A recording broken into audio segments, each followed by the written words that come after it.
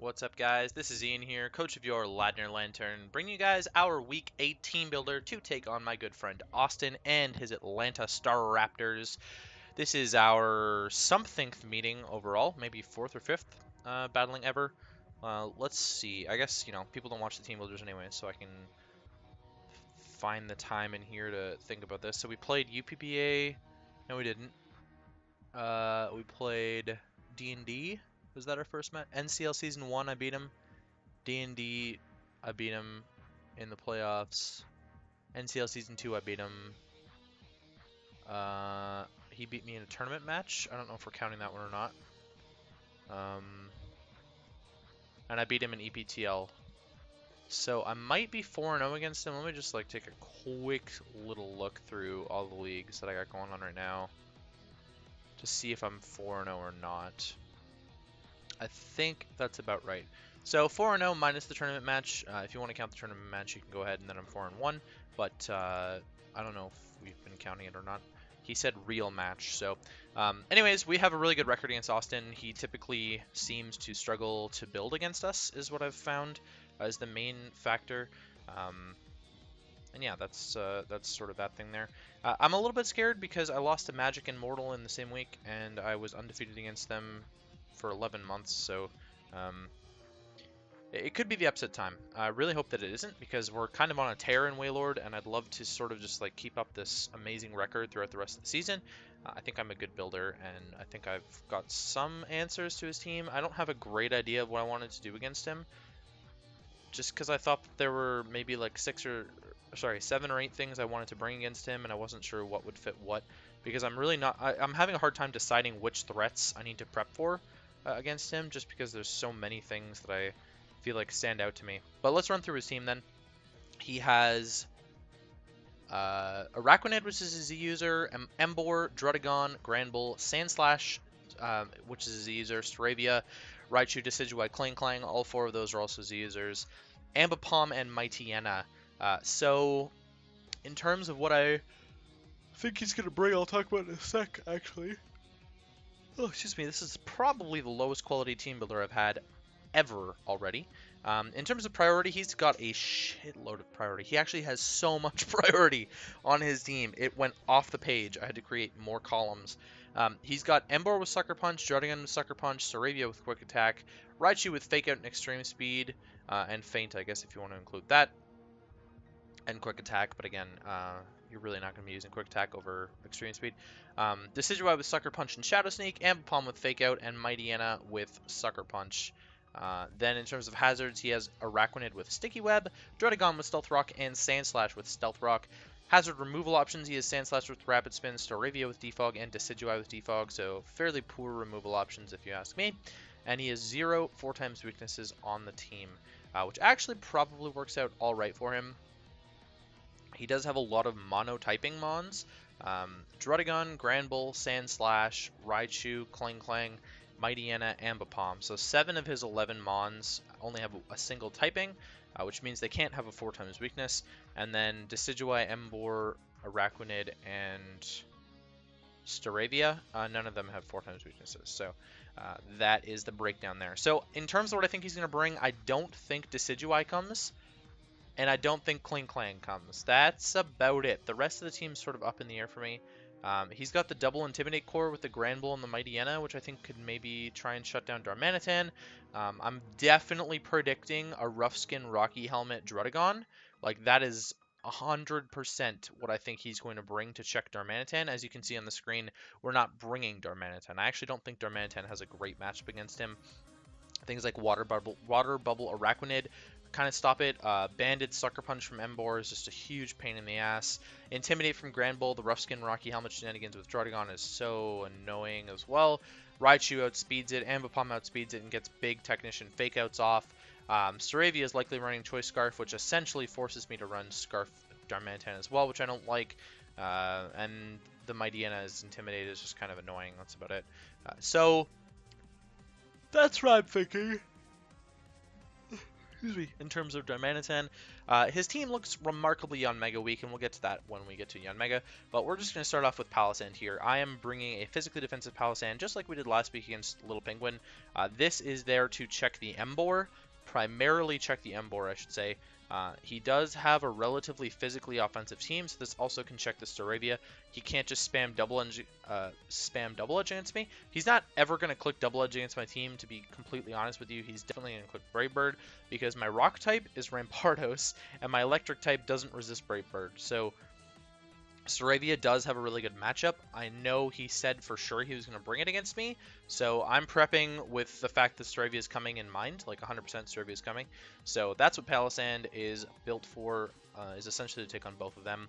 Stealth Rocks, because Stealth Rocks are really good against him, not necessarily because he's got a lot of weak to them, but because uh, it's just really good chip for him switching around with all the Intimidate and Rocky Helmet Mons and things like that. Um, you'll notice that I have, I think, a couple Toxics thrown onto my team as well.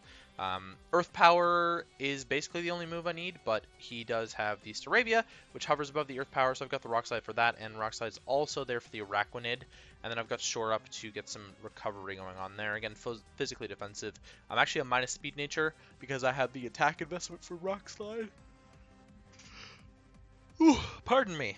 Next up is Summer Job. We're bringing Aguav Berry Rotom-Mow. Aguav Berry seems to be my favorite berry recently, just because it's the first one alphabetically that comes to mind. Volt Switch, Leaf Storm, Defog, and Toxic. His switch into Volt Switch is the Sandslash or the Raichu. Sandslash is not switching into Rotom-Mow. Um, I can tell you he's not going to switch Sandslash into Rotom-Mow, but Raichu's not going to want to eat the Leaf Storm either. Um, Volt Switch does seem reasonably free. And then I've got Toxic on here for a lot of his team. A lot of his team. Defog is for the webs. Webs are going to be extremely obnoxious. Um, not actually against my team, but not not the one that I'm bringing, but I can sort of bait him with that as well. If I was bringing Darmanitan, webs would be really, really sucky. Um, but I'm not, so there you go. Oh, excuse me. Ugh, every time. Uh, we're running not, oh, I mean, a lot of speed, but we're running Modest with a lot of speed, which means we're running his base 70 mons, so we're to outspeed Decidueye and Mightyena with this. Um, we could have outsped Staravia, but he's running Scarf anyway, so what's the point? Um, there's really, yeah, there's no point in me trying to speed creep over the Staravia when he's running Choice Scarf, so I speed, sped crept over the next best thing, which is his Decidueye which could potentially be running max speed. I know how he likes to build, and he doesn't really optimize EVs unless I'm there, uh, so we'll sort of see. Um, yeah, max special attack modest. I want to get a lot of big volt switches off this game. I missed out barely on uh, killing an Oricorio with a Volt Switch with no special attack investment last week, and I don't want to miss out on those sort of clutch KOs. Like, I'm fairly confident I can just OHKO Sandslash with Leaf Storm uh, with this investment. I'm going to do a hell of a lot of damage to the Araquanid with Volt Switch, and that's kind of the point, is to be able to get a lot of really good momentum off against this team. I do have to be careful with just clicking Volt Switch if Raichu is there. Um, Raichu is probably coming to revenge things like the Yanmega. He can run like a Scarf Raichu even um, to revenge kill a speed boost Yanmega after one speed boost. He'll still be able, he'll still outspeed me. Uh, Yanmega does have better physical defense than special defense, um, which is interesting.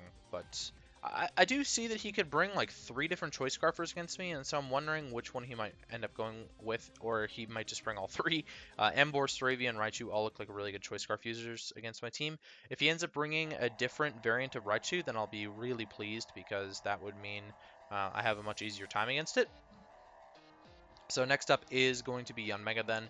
Uh, he does have a very weak Yanmega team, and I didn't want to run a Speed Boost variant because I needed a little bit more damage output. So we're running Scarf Tinted Lens uh, with Air Slash, Bug Buzz, Defog, and U-Turn. Air Slash is really, realistically, the only move that I need. Um, but Tinted Lens Bug Buzz is going to just be able to break through the Klinklang a little bit better. Um, yeah, like Air Slash blows through Araquanid, blows through Emboar. I mean, Tinted Lens means that it's going to blow through the Raichu. It blows through Decidueye. Um, everything else takes it neutrally except for Klinklang, which it's also going to go blown through because of Tinted Lens. So I felt that this was the best set, and I needed the, I needed the extra speed. I couldn't just rely on running specs. Um, although I do outspeed a lot of stuff, I really would like to outspeed uh, things like the Raichu and the Ambipom, and I definitely want to be outspeeding the Scarf Staravia so that I can get a huge hit off on that later. Uh, I'm considering probably just leading with this. I could scare out something like the Araquanid if it's leading, and I could U-turn. I could scare out the Emboar. I mean, honestly, I could probably just click Air Slash turn one, uh, but I do have the U-turn there, so this is likely going to be my dedicated lead. If I had to guess, uh, that's what I would do. Um, again, we're not running a whole lot of speed, but I'm running enough speed on here for the Staravia. Uh, one point over the Staravia's max speed with modest means we're going to get a ton of damage off on stuff with air slashes. I'm sorry, I'm kicking a lot of stuff in my office right now. Um, max special attack, tiny bit of bulk, and that's essentially Yanmega. We're bringing a reasonably bulky but also a mixed um, sort of a especially offensive Porygon 2 this week. I'm actually bringing a lot of special threats, and I just realized that, but uh, he doesn't have the greatest special walls. He has better physical walls than special walls, um, and I left all of my I left all of my physical things behind because of rough, uh, Rough Skin Rocky Helmet Druddigon and because of his double Intimidate users. Thunderwave, Discharge, Recover, and Ice Beam. Bolt Beam does so much to his team. It does so much to his team. It's ridiculous. Uh, Thunderwave and Discharge is just me being extremely cruel. Um, honestly, like there's no reason for me to bring Thunderwave and a Discharge besides me wanting to paralyze actually everything. Uh, the only things that can't be paralyzed are the Sandslash and the Raichu, and Ice Beam hits both of those. So that's kind of what's up in the air. If he brings Heal Bell Granbull because he knows how I like to play, then that is just extremely good prep on his part. I don't know if he would bring Granbull at all, let alone Heal Bell Granbull. Like, Granbull is definitely on my list of things that he maybe probably won't bring. Same with Mightyena. Uh, but there you go. So I'm running Modest, max special attack with a lot of HP, Recover, uh, Thunderwave, Bolt Beam. So it's pretty uh, pretty offensive Porygon 2. I can definitely still eat some hits just because I'm a Porygon 2. I'm like really fat.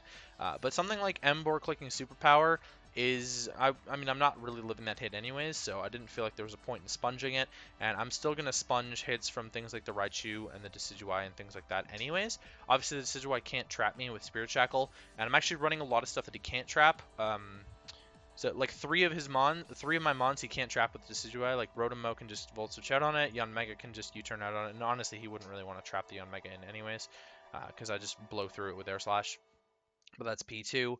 Uh, we're bringing a nifty little Duosion set. I don't think he's going to bring Mightyena. Like, I'm kind of on the fence about it, but I really don't think he's going to bring it.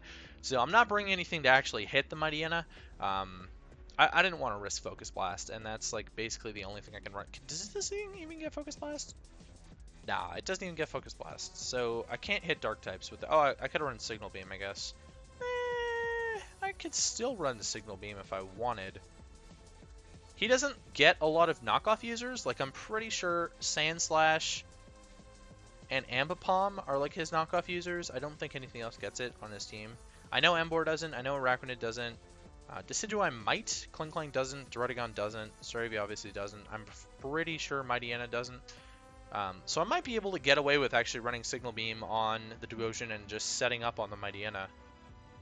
If I felt like it over Trick Room. So I'll explain the Trick Room tech then before I make this decision. Trick Room, the, underspeeds everything on his team. Um, and so that's why I want to run Trick Room is because I can guarantee outspeed literally everything unless they're holding an Iron Ball under Trick Room. Um, is kind of the idea there. So like boost up a bunch, make sure I'm a, a good good amount of HP, Trick Room, and then just start speeding through his team and psychicking uh, things to death but Signal Beam means that I can actually hit the Mightyena. You know what, I don't really care about hitting the Mightyena. I've got a lot of other stuff that can deal with it. Things like Bug Buzz from Yanmega, uh, and Slurpuff also deals with it really well as well, so I don't really care about that. Um, so just a standard Calm Mind Psychic, Recover, Trick Room is there for me to outspeed stuff, uh, basically. Physically defensive, I mean, Duosion is like super MVP of this team. Uh, maybe, actually, it might be a tie between Duosion and Darmanitan, but Duosion's 9-0 at this point in the season, and I'm just trying to rack up more kills for it, to be honest with you. Um, I think it's got an okay matchup overall. Uh, like it can sort of set up on things like Emboar relatively well. Like he he'll eventually just kill himself, and I can kind of just keep recovering on it. Uh, it can set up on the Druddigon, it can set up on the Granbull, it can set up on the Sandslash. Uh, although he might have knockoff on the Sandslash, I would definitely expect him to have knockoff on the Sandslash for my Triple O Violet users if he brings it. I can reasonably set up on the Staravia. I don't know about that, and I can definitely set up on like the Raichu. Um, so there's a few things that I can start setting up on, and depending on his sets, I can set up on other things. So uh, that's Duosion. And then last but not least, we're bringing a Uh, Unburden, Slurpuff. Slurpuff has been very poor for me this season, but I'm hoping to sort of change that a little bit. Uh, this game, bring a Belly Drum set with Play Rough, Drain Punch, and Sticky Webs. Play Rough and Drain Punch are the only coverage moves that I need for his team.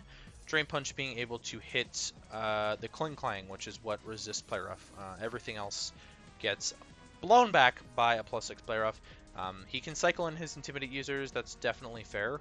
Uh, and he's got a lot of priority, like I said, so I'm a little bit worried about that, but I'm going to run Sticky Web as the last move over Return, because if I miss a Play Rough, then I probably lose the game anyways. Uh, max attack, and we're running enough speed on this to outrun Scarf Raichu after Unburden. Uh, that's the fastest thing we can outspeed, and so I'm going to outspeed it. I can't outspeed Scarf Ambipom after Unburden, so if he wants to run Scarf Ambipom with enough speed to outrun uh, Slurpuff after Unburden, then he can go for that. Uh, I'm a lot less scared of a Scarf Ambipom, to be honest, than I am like a Life Orb Technician variant or like a Silk Scarf variant, so that is what is going on there with the Slurpuff. So that's going to be the team, and uh, yeah, I'll catch you guys for the match.